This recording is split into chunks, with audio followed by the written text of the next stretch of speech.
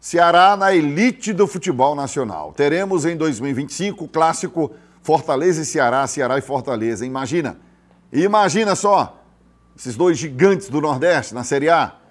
E dois piauienses daqui de Teresina, da periferia de Teresina. É, nascidos aqui, plantados aqui. Um deles é o David Ricardo, atleta do Fluminense, do Vaqueiro Belchior. Ele ainda pertence ainda ao Fluminense. Tem uma porcentagem do passe dele que já foi né, negociada, mas ainda tem porcentagem que, que, que pertence ao Fluminense.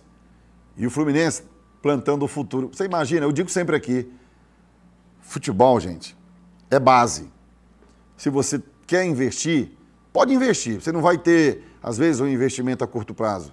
Pode ser a longo prazo, mas às vezes dá sorte e consegue, num curto tempo, revelar um craque e ganhar milhões em cima desse jogador.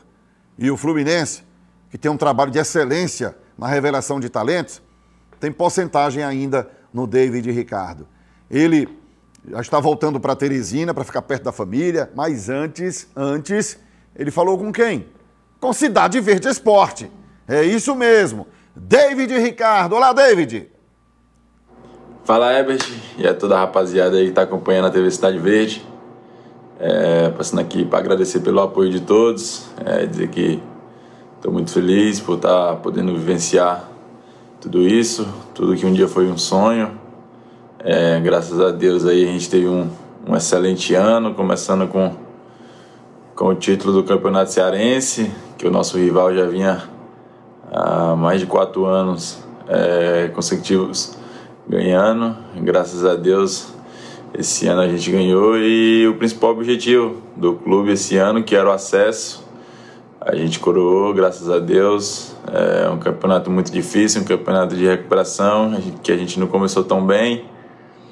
É, que no finalzinho ali a gente já tinha a probabilidade muito baixa de conseguir o acesso, tinha que ganhar 8 de 10, mas graças a Deus é, deu tudo certo.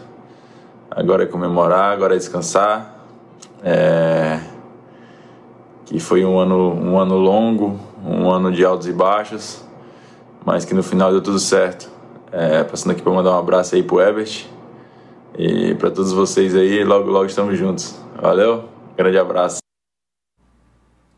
Tá aí, figuraça, amigo do Cidade Verde Esporte.